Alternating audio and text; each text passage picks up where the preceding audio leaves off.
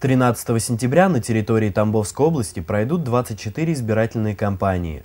Впервые за 10 лет выборы главы администрации Тамбовской области идут путем народного голосования.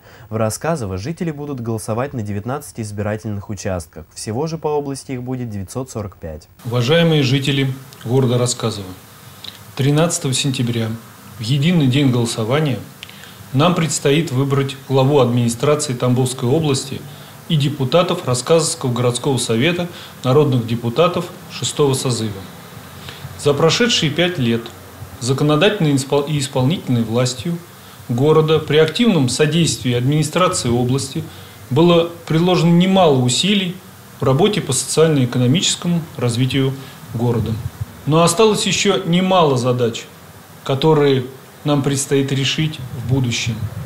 Уважаемые рассказывцы, если вам не безразлична судьба дальнейшего развития нашей Тамбовщины и нашего родного города Рассказово, я прошу вас проявить свою гражданскую позицию и принять активное участие в голосовании.